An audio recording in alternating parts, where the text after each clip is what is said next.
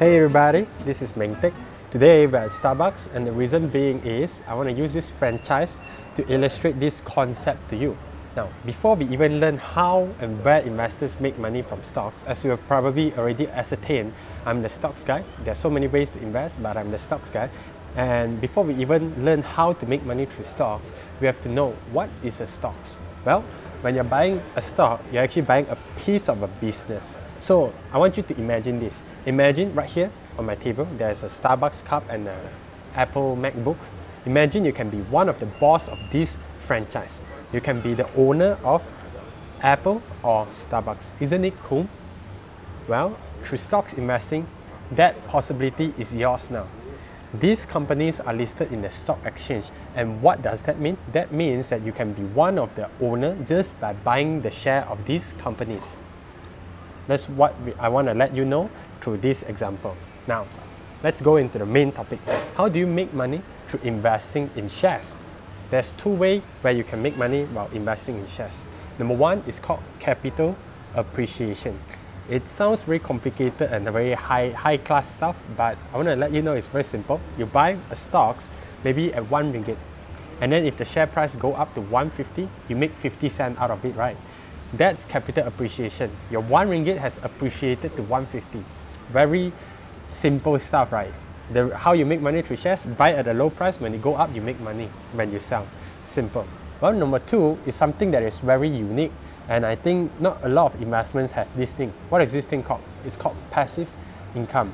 When you invest in stocks or property, in property you can get rental, and in stocks you can get this thing called dividend. When Starbucks or Apple make money, what they're gonna do is they might not need that much money because they are big companies, right? So the profit that they make, the cash that they make, they will give it out to the shareholder, which is you if you have bought the share as dividend. So you're gonna receive that income. And I don't want to sound super hypey or what, but this passive income is really you get the money without doing anything. But of course, you have already risked your money by investing in this company. So you deserve to get the profit from the dividend.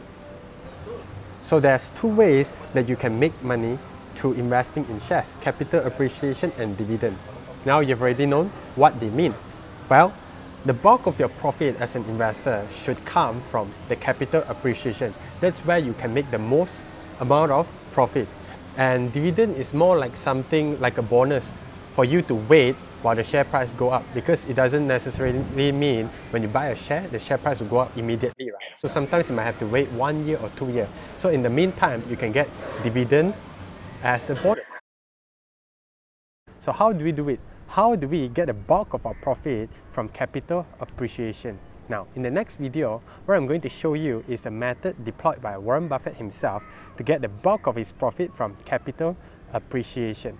And this method is called value investing. So if you are interested and you want to learn this method on how to get the bulk of your profit from capital appreciation, do remember to register at this link below so that I know that you're interested because I won't be sending this video to people that are not interested. I don't like to spam. Now, if you want to get this video, remember to register at this link below.